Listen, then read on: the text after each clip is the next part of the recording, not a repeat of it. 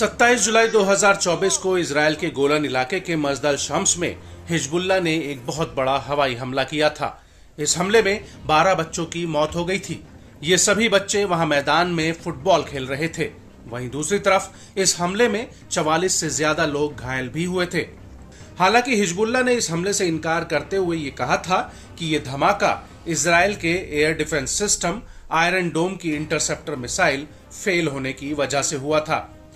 लेकिन आईडीएफ ने हिजबुल्ला के तर्क को काटते हुए कहा था कि इस हमले में उसे फलक रॉकेट के अवशेष मिले हैं, जिसका हमले में इस्तेमाल हुआ था।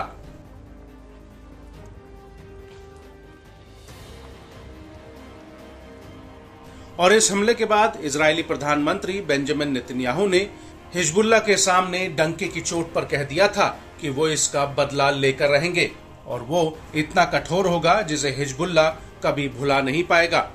और अब इसी कड़ी में इसराइल ने लेबनान की राजधानी बेरूत के दक्षिणी इलाके में एक बड़ा हवाई हमला किया है। हिजबुल्ला ने इस हमले में ड्रोन का इस्तेमाल किया है। इजरायली सेना का कहना है कि उसने इस हमले में हिजबुल्ला के कमांडर फुआद शुक्र को निशाना बनाया है, जो मजदल शम्स हमले का मास्टरमाइंड था। आईडीएफ के मुताबिक शुक्र हिजबुल्ला प्रमुख हसन नसरल्ला का सलाहकार है, जो साल उन्नीस सौ तिरासी में बेरूत में अमेरिकी मेरीन कॉप्स बैरिक्स पर बमबारी करने का आरोपी है। इसको लेकर अमेरिका का कहना है कि इस हमले में उसके 241 नौसैनिकों की जान चली गई थी और इसके बाद अमेरिका ने शुक्र पर 50 लाख अमेरिकी डॉलर का इनाम रखा था। अमेरिका का कहना है कि शुक्र हिजबुल्ला की जिहाद काउंसिल का प्रमुख है जो हिजबुल्ला की एक अहम सैन्य शाखा है। लेकिन बड़ी बात यह है कि आईडीएफ के इस हमले में फुआद शुक्र मारा गया या फिर जीवित है, इस बात की पुष्टि नहीं हुई है। लेकिन बेरूत में दो सीनियर सुरक्षा सूत्रों ने न्यूज़ एजेंसी रॉयटर्स को बताया कि शुक्र इस हमले में ज़िंदा बच गया है।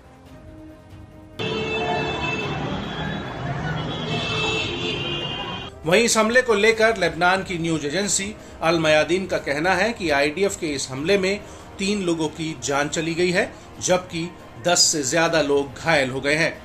अल मयादीन के मुताबिक, ये हमला बेरूत के हैरत हरेक इलाके में हुआ है, जो दक्षिण बेरूत की एक घनी आबादी वाला क्षेत्र है। आपको बता दें कि अभी तक इसराइल बेरूत के इस इलाके पर हमला करने से परहेज कर रहा था। और इससे पहले 2 जनवरी 2024 को आईडीएफ ने यहाँ पर एक हवाई हमला किया था, जिसमें लेबनान में हमास के टॉप कमांडर साले अल और अन्य अधिकारियों की मौत हो गई थी।